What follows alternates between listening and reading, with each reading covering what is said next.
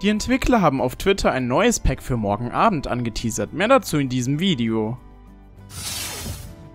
Soeben hat die offizielle EA-Seite ein interessantes GIF geteilt, welches ein neues Accessoire-Pack für morgen anteasert.